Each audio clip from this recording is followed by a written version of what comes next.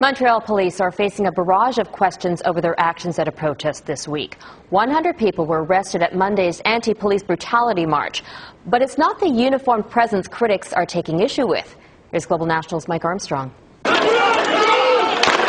Police were out in force Monday. Officers on foot, on horseback, and in the air. It turned out they were also in the crowd.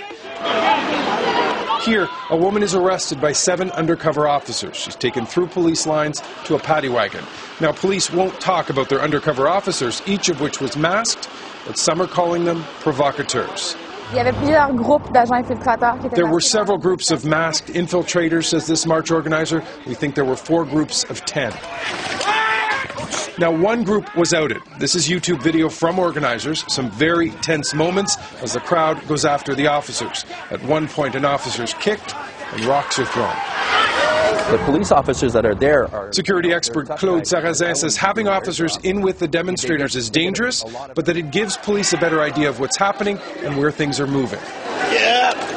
More and more it's being used because of the advantage it gives to the decision maker on the field to call the shot precisely. It's a fundamental abuse of democracy. David Coles saw the tactic up close and didn't like it.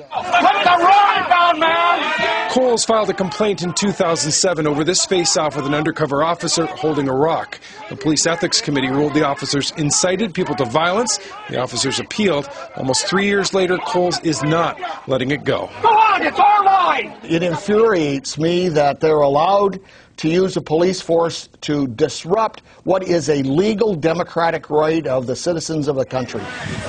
Now, critics ask if the idea is to blend in were the officers' masks needed. Most of the protesters had their faces exposed. Sarrazin says the masks help the officers get closer to the problem protesters, but organizers say they're just discrediting the movement. It's to their advantage that things don't stay calm, she says. Now, there are questions being raised of how far police can go to control a protest. There were revelations recently that protesters at this anti Olympic rally in Victoria got there on a bus driven by an undercover officer. Mike Armstrong, Global News, Montreal.